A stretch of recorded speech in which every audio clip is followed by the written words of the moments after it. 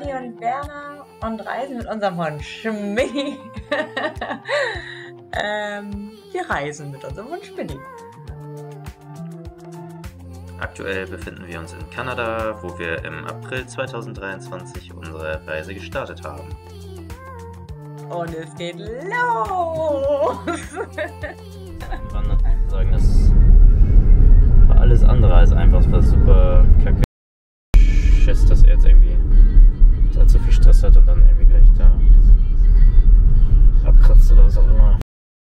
Ja, und also ich bin ganz ehrlich, freuen, dass ich jetzt gerade in Kanada bin, tue ich mich noch nicht. Also ich bin gerade einfach nur durch und ja, keine Ahnung, was wir hier gerade machen.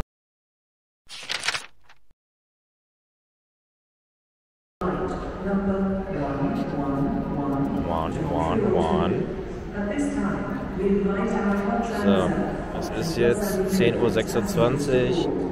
Um 11.20 Uhr ist Abflugzeit. Boarding geht jetzt los für Priority. Und so. Wir boarden dann auch demnächst mal, ne?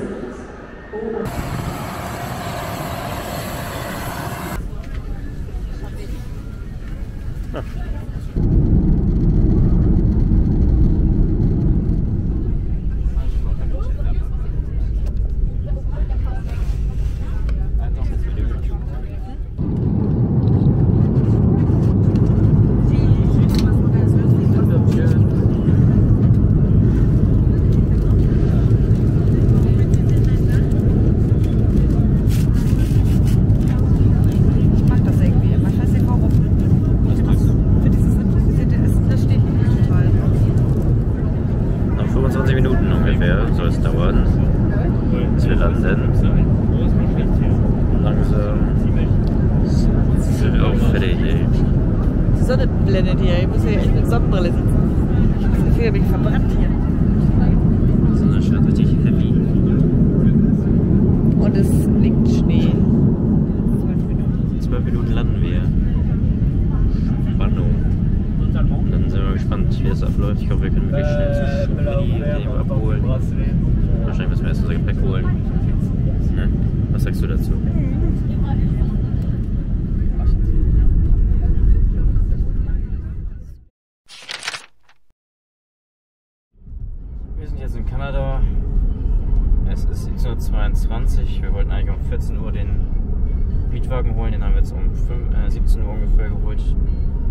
17, 1721 heißt in Deutschland ist es 23.21 Uhr.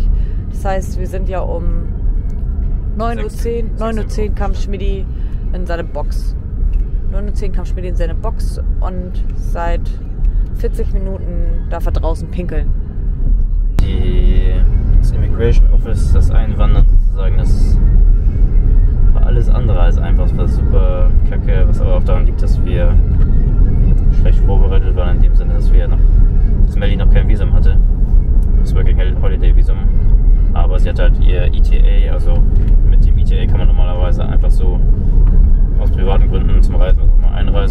halbes Jahr.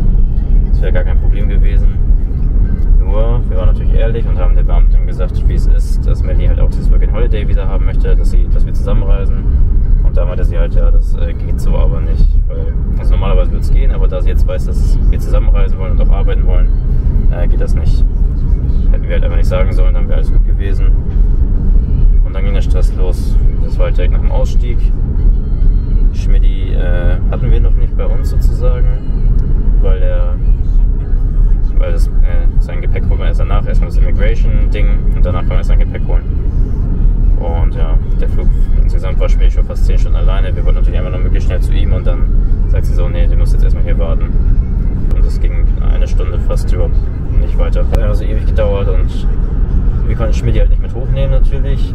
Ich Schmidti auch nicht alleine lassen. Ich bin dann erstmal, dann haben wir gesagt, okay, ich gehe jetzt erstmal runter, suche Schmidti oder hol Schmidti. Und dann müssen wir gucken, wie wir weitermachen. Ich hatte halt zu dem Zeitpunkt auch noch mein Visum nicht sozusagen. Oder ich musste auch ins Immigration Office, habe dann erstmal eine Nummer gezogen und auch da hat es dann erstmal mega lange gedauert. Also war Nummer 50 war gerade dran und jetzt komme ich hier nicht runter oder was. Ah, wir verfahren uns hier die ganze Zeit, aber ist jetzt auch egal. Bin ich erstmal zu Schmidti, dann bin ich runtergegangen zum Gepäck, dann muss ich erstmal natürlich gucken, kriege ich den, ich Schmidti überhaupt? finde ich den dann.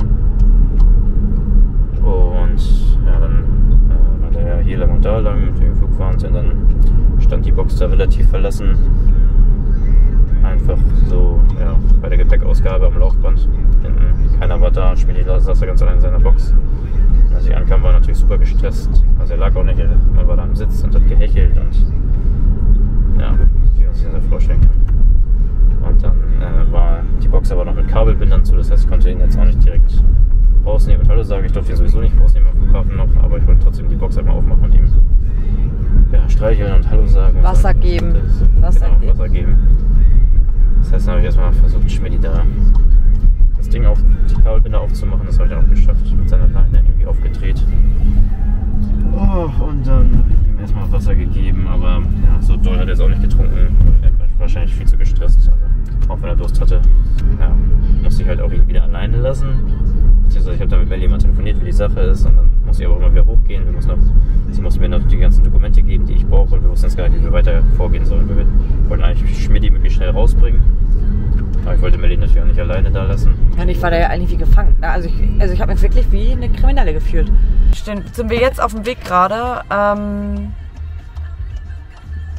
zu irgendeinem Hundeshop, weil den, den wir uns ursprünglich rausgesucht haben, ähm, bei uns um die Ecke, der hat halt nur bis 18 Uhr auf und mittlerweile ist es ähm, 17.29 Uhr und wir schaffen das nicht mehr zu uns nach Hause, rechtzeitig zu und ich würde jetzt bitte gerne Schmidi auch was zu essen geben. Weil das mussten wir ja alles in Paris lassen. So, Leckerlis hat er auch noch nicht bekommen. Das Navi sagt, wir sollen hier langfahren. Die Straße ist aber gesperrt. Also wir sind maximal genervt. Hoffe, dass Schmidti sich dann irgendwann wieder beruhigt und naja, der Rest kann man auch später erzählen. Das war jetzt, wollten jetzt erstmal die ersten Eindrücke aufnehmen, wir gerade keine Lust haben. Video und so weiter. Aber das muss jetzt einmal raus und festgehalten werden. Ja, und also ich bin ganz ehrlich, freuen, dass ich jetzt gerade in Kanada bin, tue ich mich noch nicht. Also ich bin gerade einfach nur durch und ich will eigentlich meinen Hund jetzt nur richtig verwöhnen. Und ja, keine Ahnung, was wir hier gerade machen. Ich weiß, ich glaube,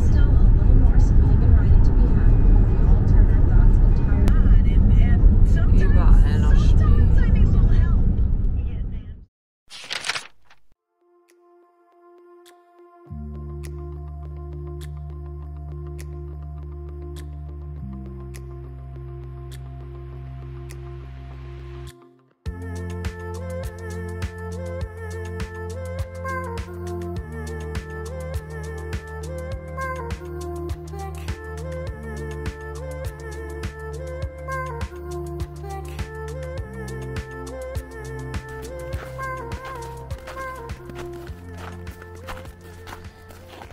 Unser erster Spaziergang. Es ist Donnerstag, ist heute Donnerstag, der 13. April. Heute sollen es 20 Grad werden. Hier liegt zwar noch überall Schnee, aber gerade ist schon ganz angenehm. Jetzt sind wir mit Jacke unterwegs. Aber man merkt schon, dass es heute warm wird. In der Sonne kann man die Jacke schon ausziehen, theoretisch. Schmiedi genießt die Freiheit. Nach gestern lange Zeit im Käfig in der Box. Super.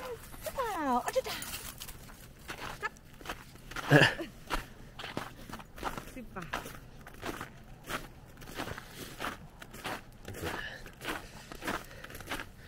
Der muss ja erstmal alles erschnüffeln. Hier links und rechts ist noch ziemlich tief Schnee. Jetzt ist er gerade wieder eingebrochen. Ich bin auch. Melli steckt auch schon bis zum Knie. Oh, und auch wieder Häufchen. Das nehmen wir natürlich live auf.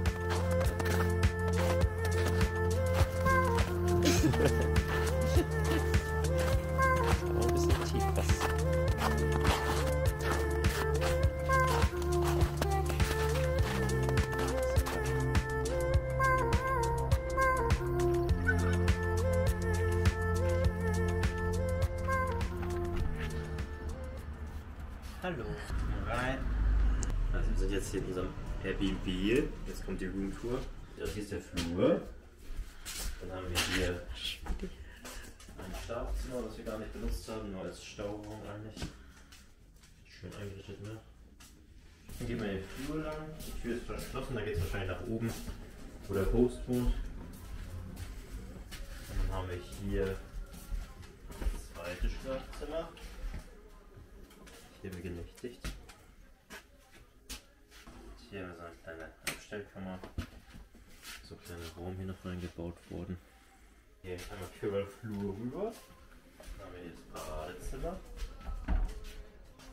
Ja, ganz schön eingerichtet eigentlich.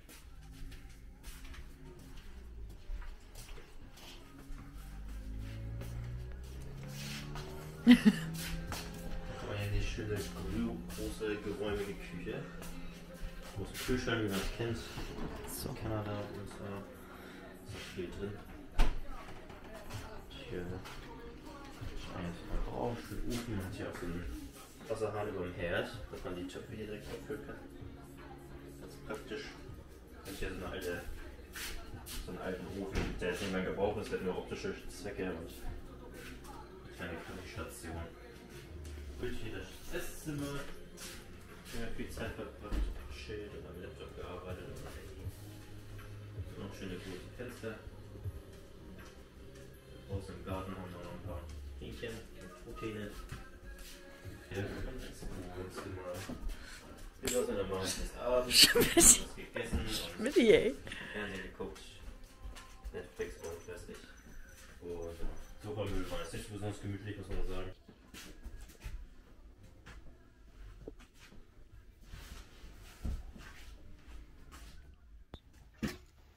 Hi. ähm, Hallo.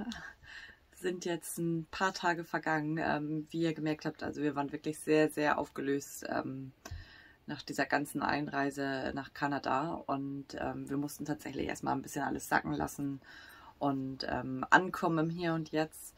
Und danach ist uns tatsächlich dann auch aufgefallen, dass wir gar nicht aufgelöst haben, wie es am Ende dann doch geklappt hat, dass wir beide hier in Kanada jetzt sein dürfen.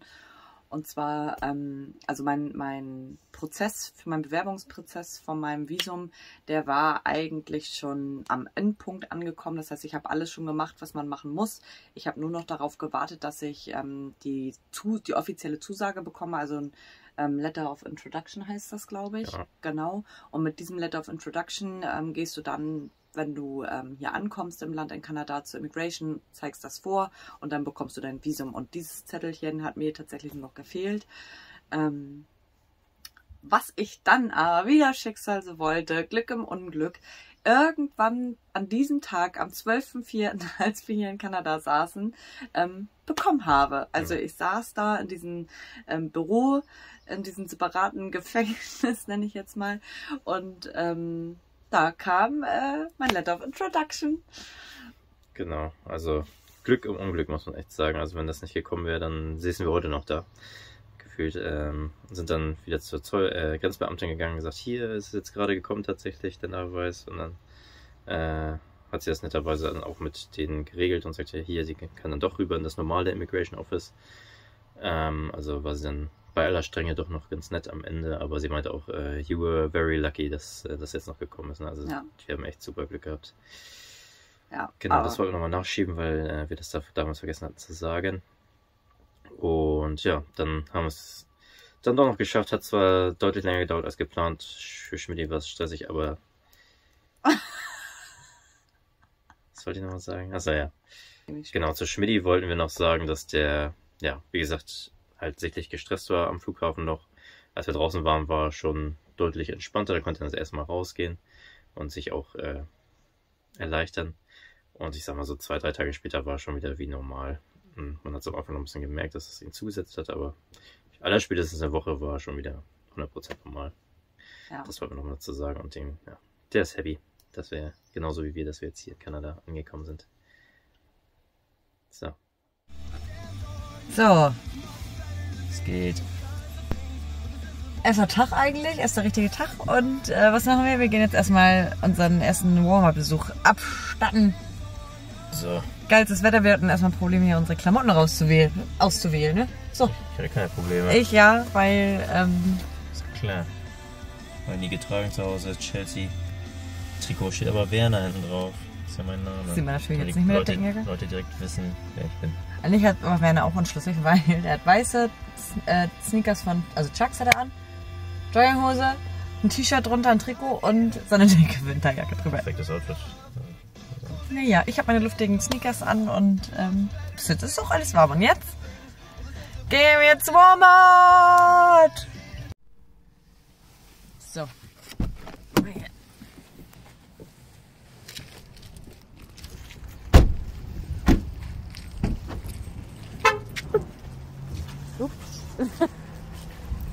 Ja, die Ami-Autos pupsen, äh, hupen ja immer. Hä? Die Ami-Autos hupen ja immer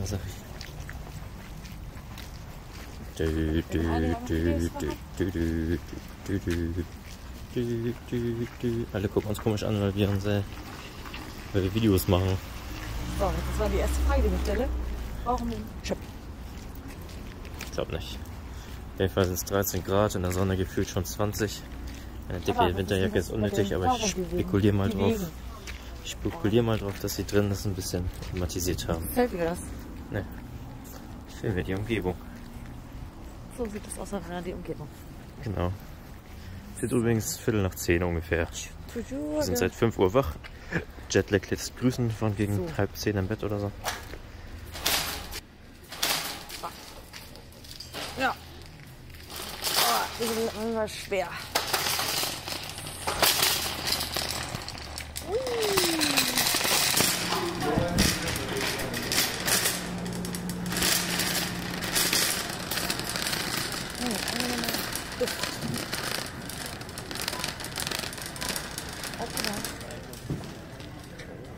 die sehen ja geil aus. Die haben wir ja in Deutschland.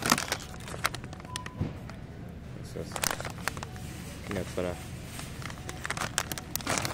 Und wie es hier heißt? Und, um, und umsonst. Wie, wie, oh, der da oben. 2,89, das geht aber. Und was steht heißt? Coté?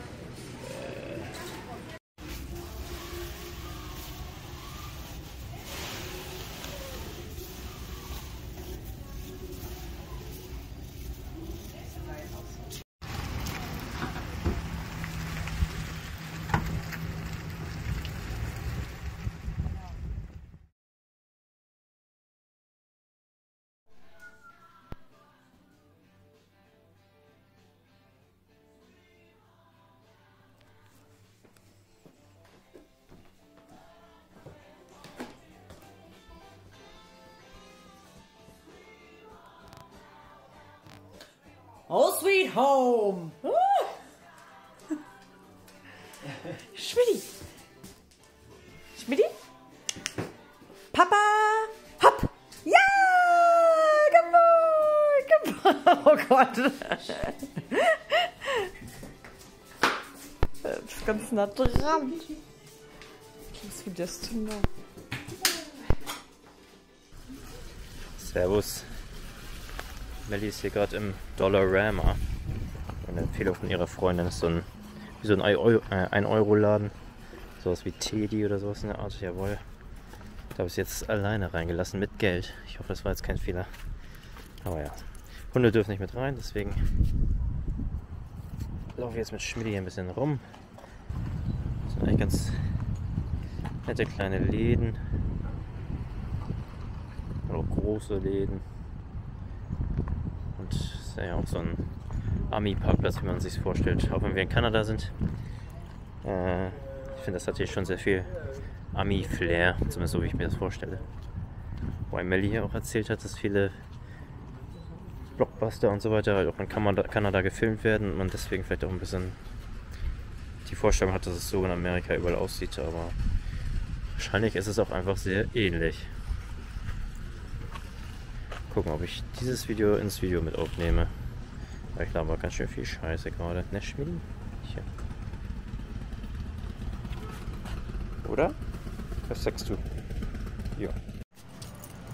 Hallo, wir machen gerade einen kleinen Spaziergang durch diese Stadt, in der wir gerade zwei Wochen wohnen. Santa Irgendwie Gatemonte! so eine Art sollte das gesprochen werden. Hier haben wir gerade so eine Kirche entdeckt. Eine auf Notre Dame, sag ich mal. Wegen der zwei Türme, ist klar. Blick die Straße runter. Das sieht so cool aus mit den Straßenlaternen und so. Es ist einfach mega heiß, ey. Hier sind 20 Grad in der Sonne gefühlt. Aber noch fette 25 Schneeschicht. Grad, überall liegt noch Schnee, weil das einfach eine dicke Schneedecke war. Aber es ist warm. Ich will doch nicht so mein T-Shirt, meine Hose ausziehen. Anders sperren die mich hier Wie findest du das, Schmidti? Gefällt dir das? Ja? Super. Super.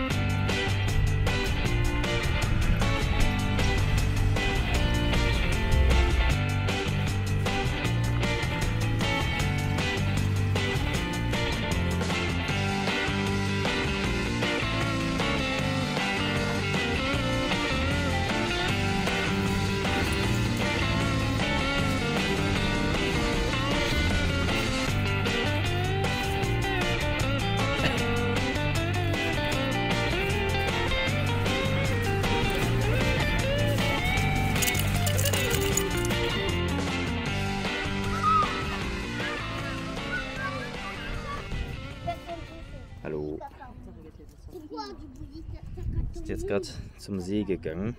Na, St. Agathe de Mons.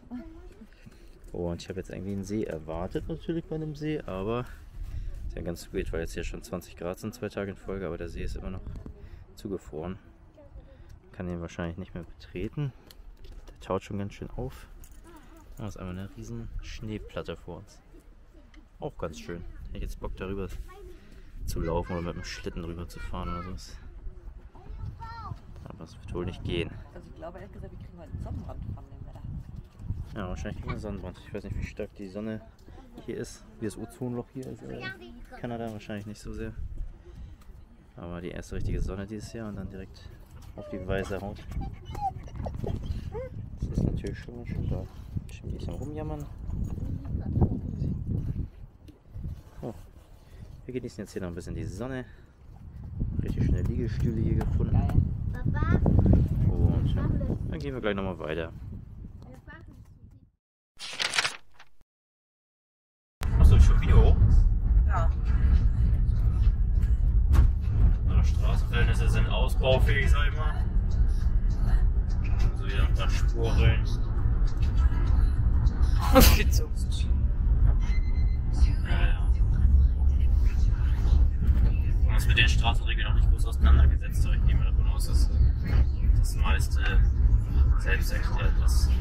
Was so bisher auffällig war, ist, dass in Wohngegenden oder so in der Stadt, ich wenn man jetzt nicht auf dem Highway ist oder so, dann gibt es sehr viele Stoppschilder. Ist das so? Ja, recht viele Stoppschilder. Wie, wie viele denn so? Erzähl ja, doch mal. So eins pro Kreuzung kann da schon mal vorkommen. Eins pro Kreuzung. Und mindestens. Und da muss man tatsächlich anhalten. Also Das machen die auch. Und Stoppschild hält man natürlich auch in Deutschland natürlich. Aber Klar. Das ist eine normale Kreuzung, wo du alles sehen kannst und siehst, dass links und rechts kein Auto kommt. Trotzdem bremst immer ab. Und wenn du auf dem Geh äh, Passant bist und auf dem Gehweg stehst, es auch nur so aussieht, als wolltest du die Straße überqueren, halten die Autos sofort an. Das heißt, muss, äh, ja, egal, ob da ein Zebrastreifen ist oder nicht, die halten einfach mal ab und wollen dich dann vorlassen. Was natürlich sehr nett ist, aber kann natürlich ein bisschen nervig sein, wenn man einfach nur steht und nur gar nicht rüber will, dann halten die trotzdem. Aber ja, das, wir ein bisschen mitgenommen vom Straßenverkehr. Bin ich wieder viel zu leise.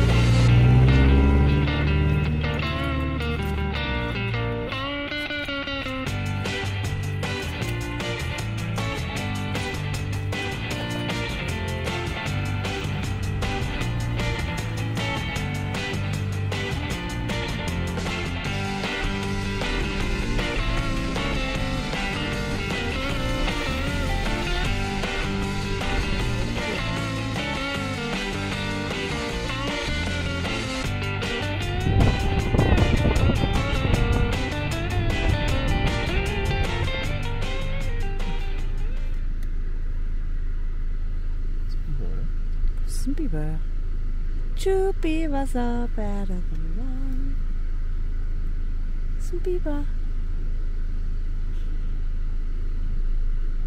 Just people. Yeah.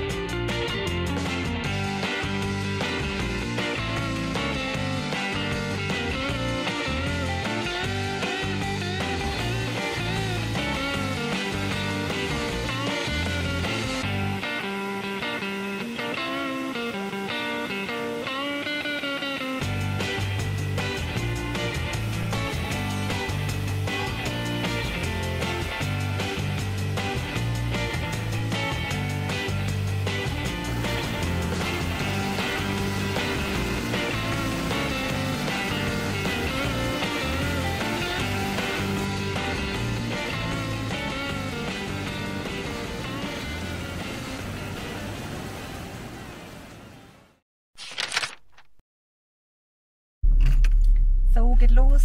Wir sind jetzt auf dem Weg zu unserer ersten RV-Suchtour.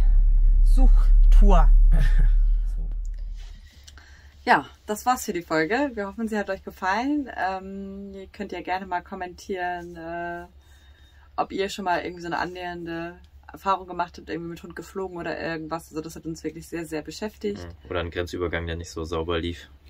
Genau, kann ja immer mal vorkommen und ich finde, ähm, also uns ging es zumindest so, es nimmt einen total mit, weil man dann ja im Kopf die schlimmsten Szenarien irgendwie schon durchgeht und überlegt, scheiße, was machen wir, wenn es jetzt nicht klappt. Ähm, aber am Ende ist bei uns jetzt alles gut gegangen, Gott sei Dank. Und in der nächsten Woche erfahrt ihr dann, wie die Campersuche so läuft, weil ähm, das ja der Plan ist. Wir wollen ja mit dem Camper durch Kanada fahren und vielleicht auch noch weiter und ähm, Muss Ja. man erstmal entfinden und dann kaufen und wie das so alles funktioniert. Erfahrt ihr in der nächsten Folge. Also, Abo nicht vergessen und äh, Like da lassen. Like da lassen. Und ähm, wir sehen uns. Tschüssi.